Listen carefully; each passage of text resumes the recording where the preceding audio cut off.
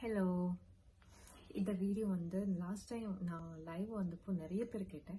உங்கள் hair care சொல்லுங்கள் நீங்கள் எப்படி ஹேர் மெயின்டைன் பண்ணுறது சொல்லுங்கள் அப்படின்னு கேட்டதுனால அப்போவே நான் சொன்னது வந்து ஒரு செப்பரேட் வீடியோவாக பண் பண்ணலாம் அப்படின்னு. ஸோ இன்றைக்கி நான் வந்து இந்த நான் ஹேருக்காக என்ன பண்ணுறது அப்படின்னு நான் உங்களுக்கு சொல்லி கொடுக்கலான்னு நினச்சேன். தமிழ் ரொம்ப நாளாக பேசல. அதனால எனக்கு வந்து இந்த எனக்கு பேச வரல. அப்படி. நான் வந்து ஹேருக்கு வந்து நான் அவ்வளோ பெரிய எஃபர்ட் எடுத்து கேர் பண் பண்ணல எனக்கு தெரிஞ்ச அளவுக்கு. ஆனால் பண்ணுற சில குட்டி குட்டி விஷயங்கள் இருக்கும்ல. இப்போ வந்து hair spray dryer straightener curler இந்த மாதிரி பண்ணுற விஷயங்கள் ரொம்ப ரொம்ப ரொம்ப கம்மி. நான் வந்து கெமிக்கல்ஸ் வந்து ரொம்ப அவாய்ட் பண்ணுவேன். மேக்ஸிமம் அவாய்ட் பண்ணுவேன். ஆனால் உங்களுக்கு தெரியும் நம்ம ஷூட்டிங்காக இருக்கும்போது இதெல்லாம் நமக்கு தேவைப்படுது இல்லாமல் எதுவுமே பண்ண முடியாது. அப்போ அந்த கூட ரொம்ப அவ்வளோ எமர்ஜென்சி அவ்வளோ இதாக இருந்தால் மட்டும்தான் நான் யூஸ் பண்ணுவேன். இல்லைன்னா நான் அது பண்ணாதீங்க. தயவு செஞ்சு எனக்கு இது பண்ணாதீங்க அப்படின்னு தான் சொல்லுவேன்.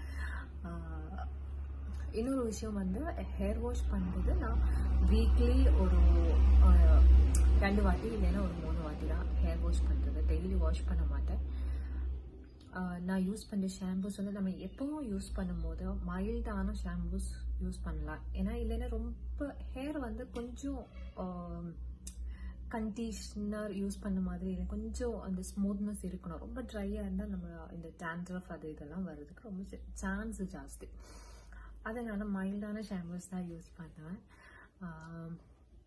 அப்புறம் அந்த ஒரு ஒரு க்ளோவிங் டெக்ஸ்டர் உங்களுக்கு கிடைக்கணும் அப்படின்னா வந்து இந்த பிளாக் டீ நம்ம சுகர் போடாமல் பிளாக் டீ பண்ணிவிட்டு அதில் ஹேர் வாஷ் பண்ணால் ஹேர் வந்து கொஞ்சம் ஷைனிங்காக இருக்கும்.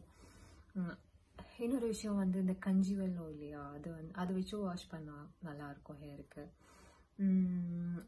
அப்புறம் உங்க உங்களுக்கு ஹேர் ஃபாலிங் இருக்குது அப்படின்னா இந்த நம்ம செம்பருத்தியோட இலை செம்பருத்தி அதெல்லாம் வச்சு மிக்சியில் போட்டு நம்ம அது எல்லாருக்கும் தெரியும்னு நினைக்கிறேன். சின்ன வயசில் இல்லை ரொம்ப ரொம்ப நாள் முன்னாடி என்- என்ன நம்ம பாட்டி எல்லாம் பண் இங்கே எல்லாரும் பண்ணது தான் அது வச்சு வாஷ் பண்ணுவோம்ல.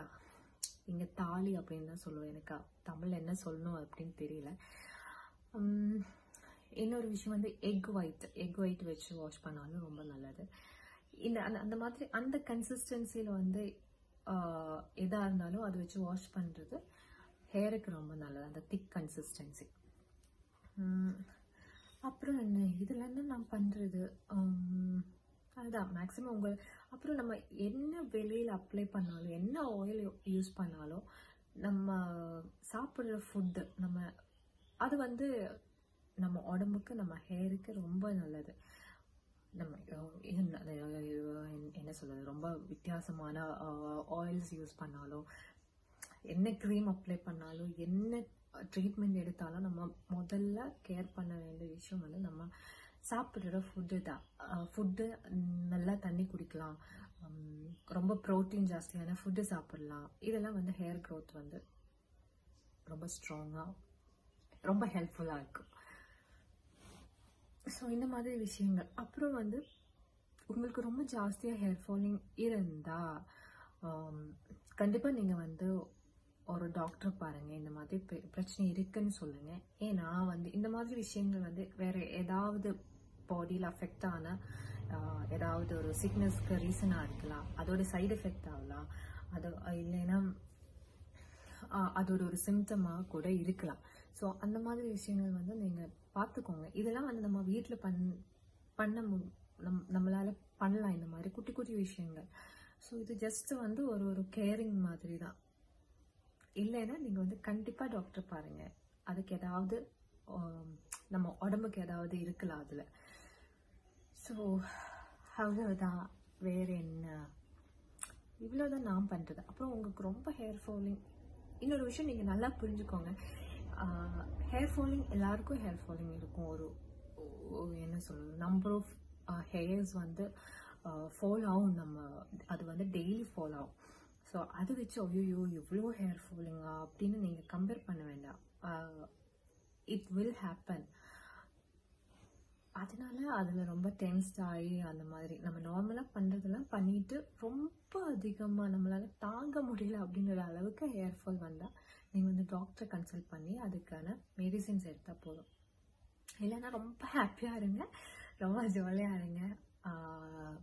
ரொம்ப ஐயோ ஹேர் இல்லை அப்படி இப்படின்னு சொல்லிட்டு ரொம்ப டென்ஸாக ரொம்ப டென்ஷன் பண்ண வேண்டாம் அதில். ரொம்ப டென்ஷன் ஆகும்போது அது நம்ம பாடி நம்ம ஹேர் எல்லாத்தையும் அது பாதிக்கும்.